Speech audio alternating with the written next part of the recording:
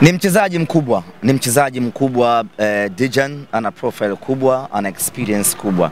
Kama itafika mahala atakuwa anapata anaogopa pressure kutoka kwa mashabiki, basi kuna ana, ana, kuna kuna ulakin. Mimi naamini hii pressure ambayo ina, ina, ina, ina, imetengenezwa inamfanya, inamfanya yeye apate hamu ya kusukuma zaidi, apate hamu ya kupush na hatimaye kuwadhihirishia umma wa watu ambao wanamwamini ya kwamba yeye ni bora. Ukiangalia mwenendo wa timu yetu hivi sasa, hakuna mchezaji anayeshangiliwa zaidi ya yeye. Hii maana yake ni kwamba watu wanamkopesha ile imani ambayo wako nayo. Ni jukumu lake tu yeye kudhihirisha kwamba mimi ni mtu sahihi ndani ya Simba Sports. Mashabiki wa Simba baadhi na wa Yanga wanasema Ahmed amewaaminisha sana mashabiki wa Simba aa, kwamba Dejan ni mtu kwelikweli, ni mtu na nusu yani huyu na goli uh, pengine nafasi moja anaweza akafunga hata magoli matatu, wanatania hivyo Hmm. kwa maana umemaanisha. Wanasema what if ikitokea akawa ni ipe mweupe, utawaambia nini kwa imani kubwa ambayo umewaminisha? Huo ndio mpira sasa. Eh, kuna wakati unaweza ukasajili mtu mzuri, lakini mwisho siku ndani ya klabu yako akashindwa kudeliver. Kwa hiyo inaweza ikatokea, inaweza ikatokea eh, Dejan asiperform ndani ya klabu ya Simba, lakini haiondoi ukweli ya kwamba yeye ni mchezaji mzuri ambaye amesajiliwa ndani ya klabu ya Simba. Kwa hiyo akifunga manake ni kwamba anadhihirisha classic yake, asipofunga manake ni kwamba anapitia wakati mgumu ndani ya klabu ya Simba, na hii ni kawaida. John Boko msimu uliopita alikuwa ni top scorer wa klabu, top scorer wa nchi, alifunga mabao mengi, lakini msimu jana hadi nafika raundi ya 27 sio 20 ngapi, John Boko hajafunga hata bao moja. Ni masuala ya kawaida kwenye mpira wa miguu. Kwa hiyo mimi niseme tu eh, Dijan mpaka muda huu nazungumza na ninyi ni kwamba ni mchezaji mzuri na tunaamini ataisaidia Simba Sports.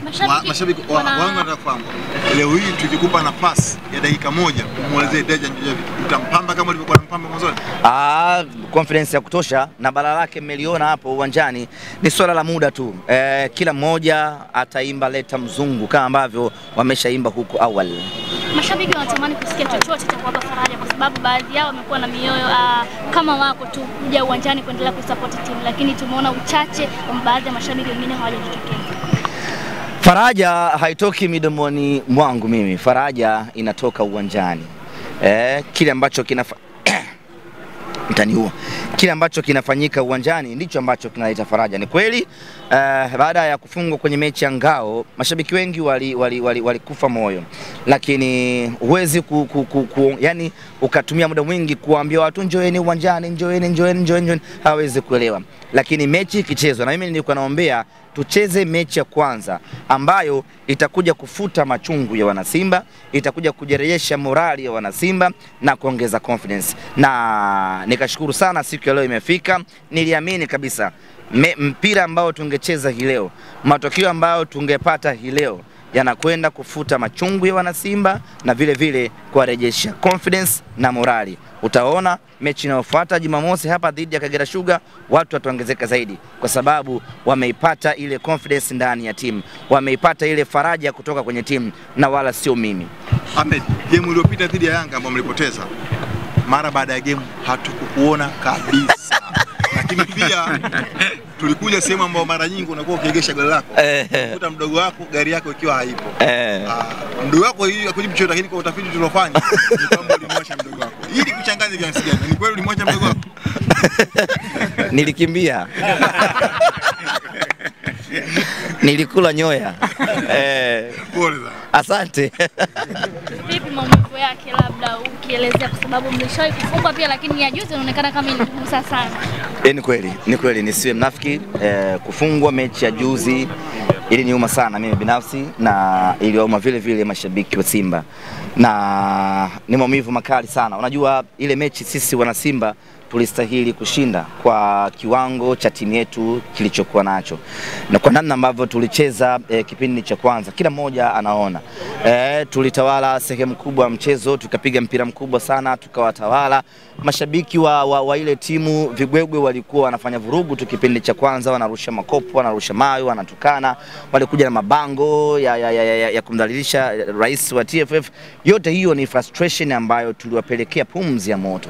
Kwa hiyo ilipokuja kugeuka tukafungwa, niseme tu niliumia sana na niliwafikiria ni kwa namna gani wanasimba wanaumia, ndio maana siku zile sikuonekana baada ya mechi. Niseme tu nilikula nyoya, nisingeweza kuzungumza. Ah, nimesa vidonge vingi sana. Ahmed, kutajwa kwa uh, Matola kama, kama tatizo la, la, la Simba kutofanya vizuri kunaleta presha gani kwenye benchi la ufundi? Ya, swali zuri, asante sana. Ni kweli kumekuwa na lawama ambazo zinaelekezwa moja kwa moja kwa kocha wetu Selemani Matola. Uh, hazina msingi lawama. Mtu anakwambia tu haiwezekani makocha sita wameondoka alafu yeye amebaki. Kuna ubaya gani kama mtu anatimiza wajibu wake ana, ana, anakuwa ndani ya Simba? Tujiulize hii leo makocha wangapi wameondoka Simba, Mkude yupo. Maanake kama mtu anatimiza wajibu wake, anafanya kazi yake pasavyo, hakuna kocha, hakuna sababu ya kumwondoa. Lakini kama angekuwa na hiyo shida Matola, makocha wote ambao wanakuja, kila mmoja angekataa kufanya kazi na Matola, lakini makocha wote wakija wanamkuta na wana appreciate kufanya kazi na Matola. Kwa sisi kama uongozi wa Simba tunasimama na Matola na tunaamini kwamba Matola ni mtu sahihi kuwepo ndani ya klabu ya Simba, ni mtu ambaye anatengeneza ile stabilization ndani ya klabu ya Simba. Ukiangalia sasa hivi benchi letu lote la ufundi ni jipya na lazima uwe na mtu mzoefu ndani ya benchi la ufundi. Mzoefu ni Selemani Matola. Matola anaongoza benchi la ufundi kwa uzoefu wake, lakini vile vile anawasaidia na walimu kwenye mechi mbalimbali ambazo zinaendelea. Mwalimu Zoran Maki ni mgeni Tanzania, ukimchukua ukienda naye Sokoine, anahitaji zaidi akili ya Matola kuliko mtu mwingine, kwa sababu Matola ameishi pale Sokoine. Ukitoka hii leo mkienda mkokwani Tanga, mwalimu hapajui mkokwani Tanga, anayepajua ni Selemani Matola, anamtegemea zaidi Selemani Matola kumwambia hapa tunafanyaje. Kwa hiyo mimi niseme na niwaambie wana Simba ya kwamba kama uongozi tunasikitishwa na tuhuma zao, tunahuzunishwa na, na, na, na, na, na lawama zao. Hatu, hatuwakatazi kula, kulaumu na, na, na, na kushtumu, lakini ikiwa too much inaumiza na inamkatisha tamaa hata Matola mwenyewe ambaye anafanya kazi kubwa ndani ya klabu ya Simba. Mimi niwaambie wana Simba kwamba Matola ni kijana wetu na bado tuna mpango mkubwa sana na Matola na bado tuna ndoto kubwa sana na Matola. Tunawekeza fedha nyingi na muda mwingi kwa Matola kuhakikisha kwamba inafika siku Selemani Matola anasimama kwenye benchi la ufundi kama head coach wa klabu ya Simba, lakini hatuwezi kufika huko kama tutakuwa tunamtukana, kama tunakuwa tunamdharau, kama tunakuwa tunamshutumu. Kwa mimi ni waombe wana Simba kwamba tujifunze kuheshimu vya kwetu, tujifunze kupenda vya kwetu. Sisi uongozi tunaona. Kama kuna shida, kama Matola atakuwa na shida, niwahakikishie wana Simba haitofika hata asubuhi, tutamtimua. Lakini kwa sasa tuna imani naye, tuna uhakika na kazi yake anayofanya na tunaomba wanasimba watuamini. Sisi viongozi hatuwezi kumweka mtu pale ambaye anaihujumu klabu, ambaye anaidhofisha klabu. Yoyote ambaye unamuona ndani ya Simba tumemwamini na tunaamini kwa...